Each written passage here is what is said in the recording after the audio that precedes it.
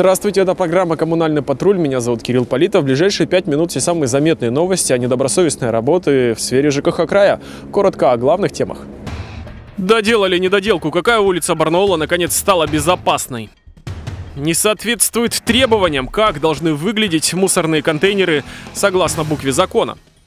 Тарифы на повышение, насколько вырастет плата за услуги ЖКХ в 2019 году. Начнем сразу две актуальные темы, о которых мы говорили в наших прошлых выпусках, получили продолжение. Обо всем по порядку. Номер один про улицу Балтийскую, точнее про ту ее часть, что идет по новому району кварталу. Там мастера провели ремонт еще пару месяцев назад. Оказалось, есть недочеты. Это об отсутствующих на всем протяжении нового полотна дорожных знаках под названием «Пешеходный переход». Долгое время их здесь не было, про знаки словно забыли. В итоге у горожан было два варианта. Либо в обход за сотни метров до ближайшего перекрестка, либо с риском для жизни пересекать проезжую часть. Нет, ну просто они не успели, они торопились сделать дорогу, потому что тут дороги не было, пешеходных переходов не было. У меня здесь гараж, вот, я тоже не могу дорогу перейти, приходится идти до светофора, а извините, у нас же вот люди идут то там, кому-то надо перейти, здесь же много всяких фирм. Так что, ну будем надеяться, что они сделают. Поди сделают продлилось еще несколько недель. Как уверяют горожане, установленные знаки были после трагического случая. Говорят, на этом участке сбили ребенка. Без беды знаки, по всей видимости, никак не устанавливались.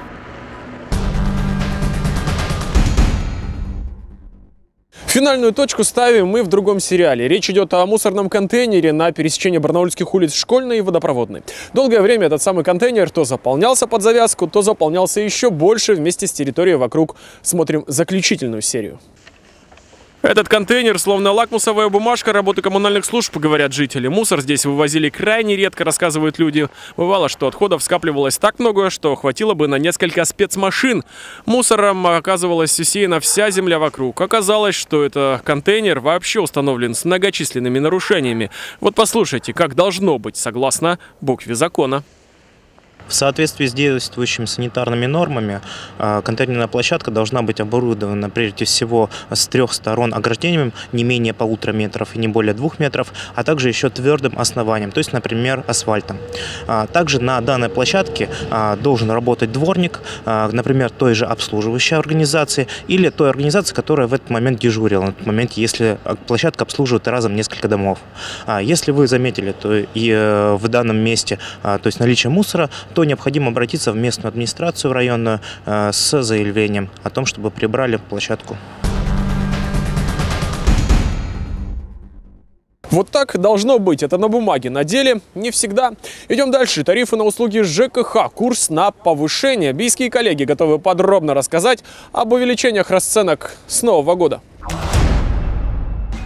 Тарифы на услуги ЖКХ в следующем году повысятся в два этапа, но не выше процента заложенной инфляции. Для граждан будут предусмотрены меры соцзащиты. Об этом накануне сообщил вице-премьер России Виталий Мутко. Увеличение тарифов связано с введением налога на добавленную стоимость, который коснется всего ЖКХ.